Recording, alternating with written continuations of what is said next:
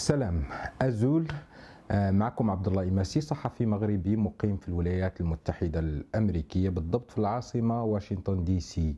حياتي تبدلات بشكل أو بآخر مورا ما تعلن الحجر الصحي في العالم كله ماشي غير في هذه البلاد وهذه البلاد لا في العالم كله.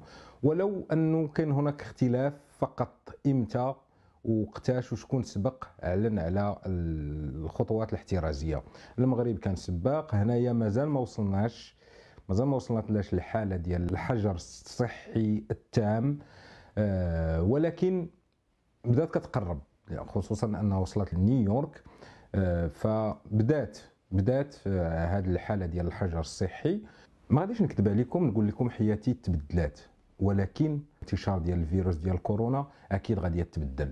مجموعة من الممارسات مجموعة من العادات مجموعة من آه، الأشياء اللي مولفين كنديروها يوميا ما غاديش تبقى. عوض ما نبقاو نهضروا على السوشيال networking ولينا كنهضروا على ال social distance بزاف ديال المفاهيم غادي تتغير. أنا كنحرص أنني ندوز هاد التجربة هذه وهاد المرحلة هذه من خلال الاكتشاف الذات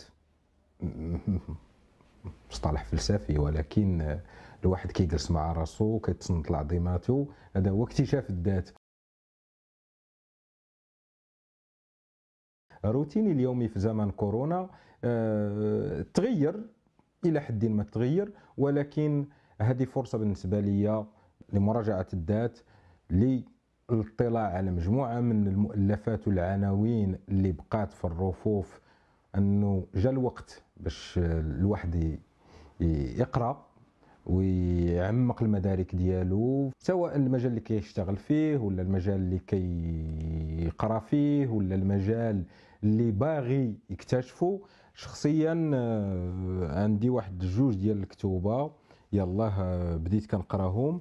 واحد كيتعلق بجو بايدن ال bio ديالو the book of Joe والثاني The Return هو ديال آه، هشام مطر كاتب آه، ليبي.